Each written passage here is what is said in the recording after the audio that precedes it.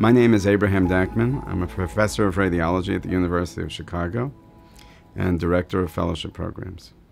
I've been doing uh, research and work on virtual colonoscopy for about 14 years.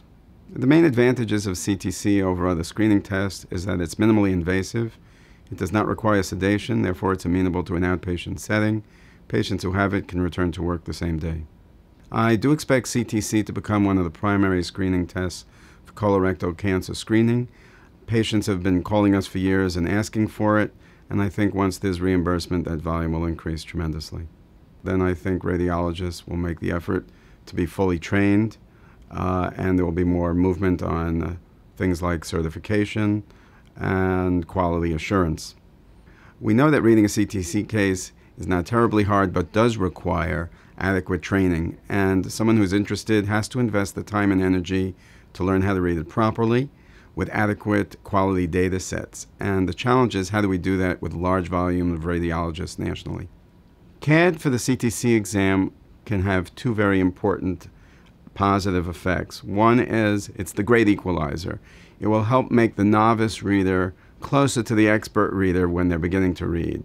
And even for the well trained, moderate expert, even advanced expert, it might increase confidence of interpretation.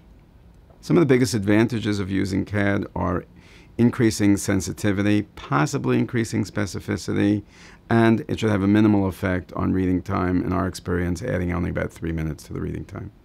In the future, CAD, computer aided diagnosis, will incorporate various tools to help the radiologist, for example, tools to help measure polyp size, polyp volume, help compare a polyp on follow up exams to see if it's changed or increased in size, and possibly some cutting edge research on polyp characterization.